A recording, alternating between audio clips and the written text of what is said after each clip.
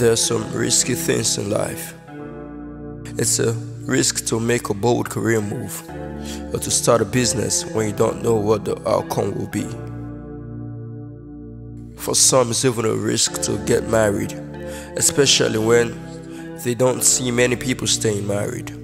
But when it comes to faith, when it comes to being a Christian, would you take the risk of believing in God first before you see the miracle? Could you risk completely trusting God first before there is any sign of a breakthrough? In fact, can you risk waiting on God's timing before you try and take matters into your own hands?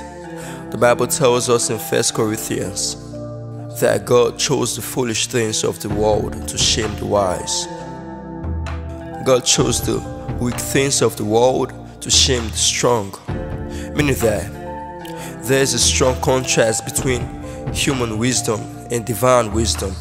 Human wisdom would say, I must destroy my enemies, gotta give them no chance.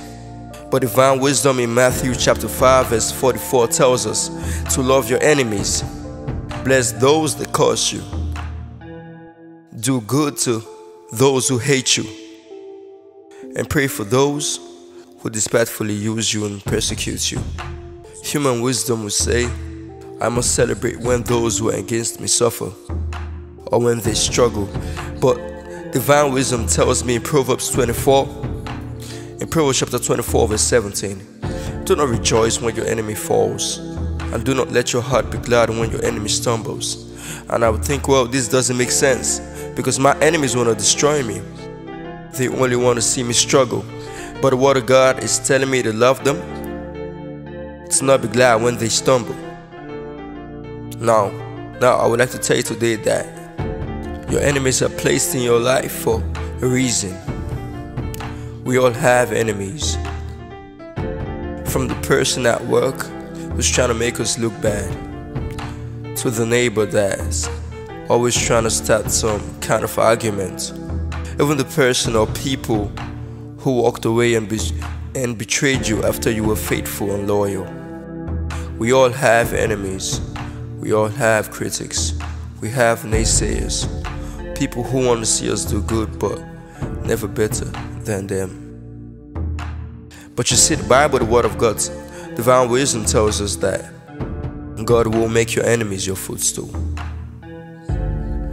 The same people that provoke you, antagonize you, belittle you, and stress you out, those people will be made your footstool.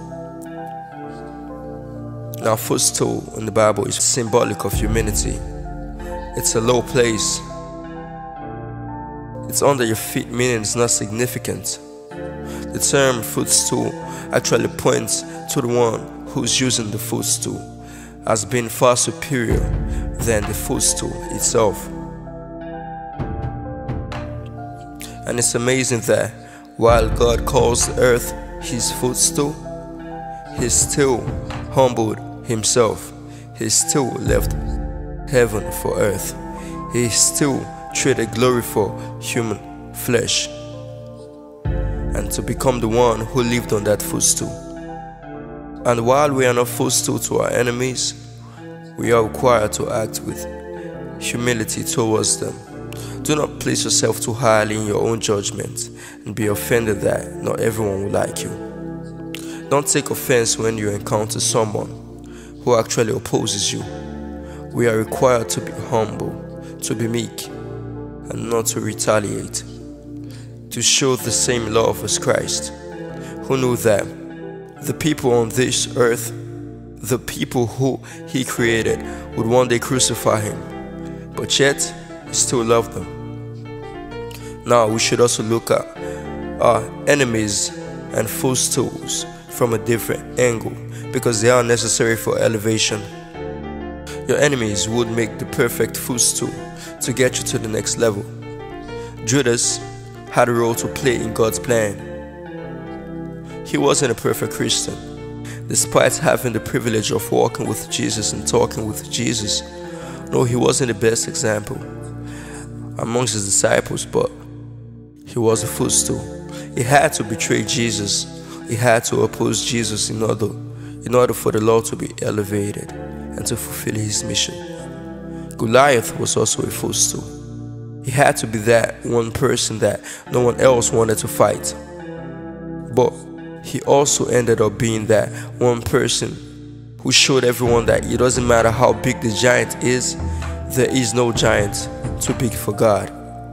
He was a footstool for, for David. And Pharaoh was a footstool for Moses. Joseph's brothers, were a footstool for Joseph. Even Nebuchadnezzar, who threw the three Hebrew boys into the fiery furnace, was also a footstool. Enemies on the surface level, but stepping stones on the spiritual level. Now, one of the most famous Bible passages, Psalms 23. The Lord is my shepherd, I shall not want. He makes me to lie down in green pastures and leads me to still waters. And if you continue reading to come to verse 5, He prepares a table for me in the presence of my enemies.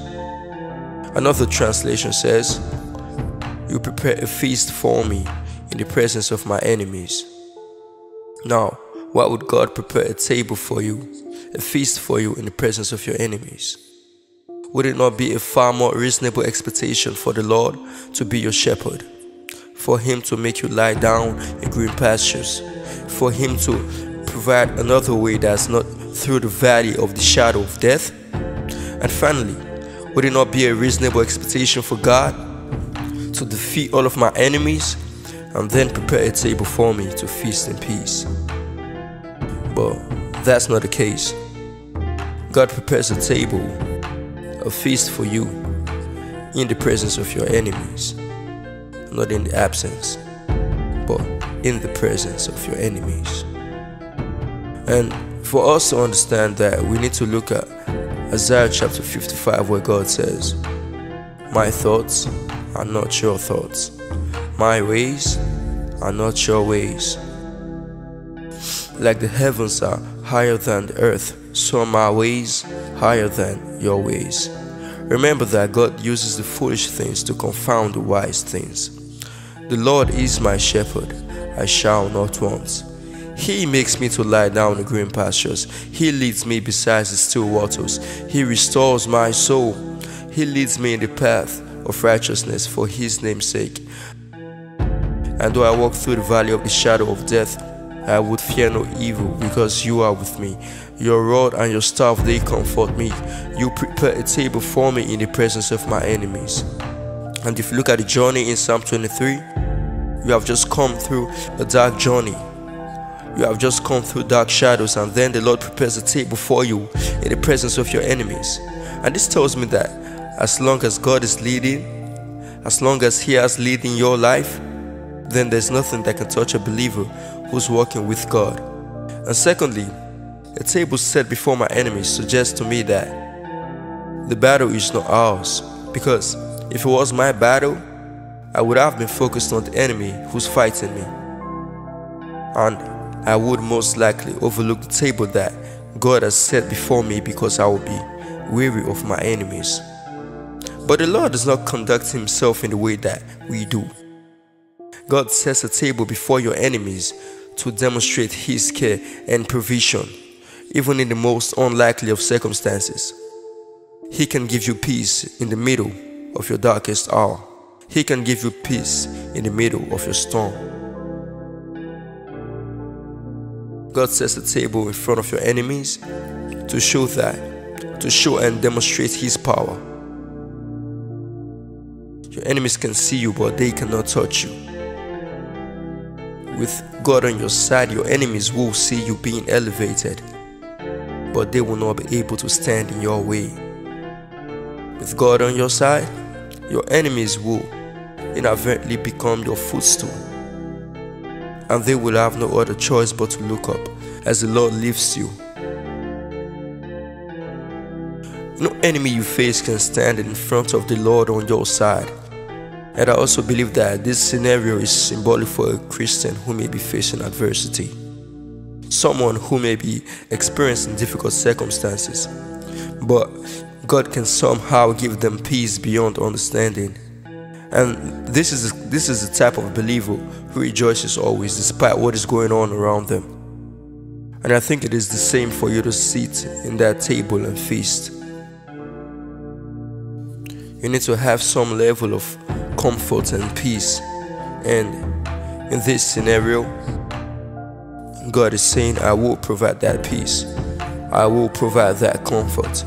I will provide a table for you to feast on, even in the presence of your enemies. And if we focus on the word prepare, the Lord prepares a table.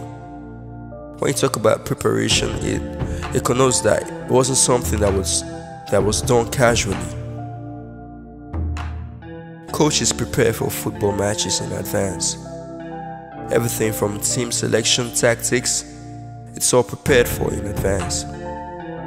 Business owners prepare their staffs to face all different types of scenarios. Parents prepare their children for school. I believe that for the Lord to prepare a table for you in the presence of your enemies, He already has a plan in mind. He has taken every detail into account. God takes time to plan what will be on the table, where the table will be, who will sit and eat at that table who will at the table and how you will get to that table. He prepares a table for me in the presence of my enemies. And that word preparation implies that thought, time, and effort has gone into doing that. That that very thing. Enemies are part of God's plan for your life. We will all face enemies that we have to continually overcome.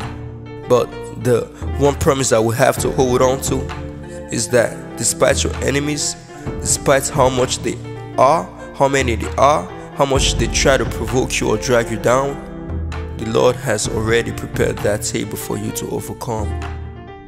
And He will use them to become your footstool. So be at peace, for the Lord has prepared a table for you to feast before your enemies, because He will be the one to deal with them. We are to continue to be humble. We are to continue to have the love of Christ. Exodus 14, verse 14 says, The Lord will fight for you, and you will hold your peace. Your enemies are in God's hands. Your enemies are part of God's plan. All you need to do is let the Lord be your shepherd and let Him lead you.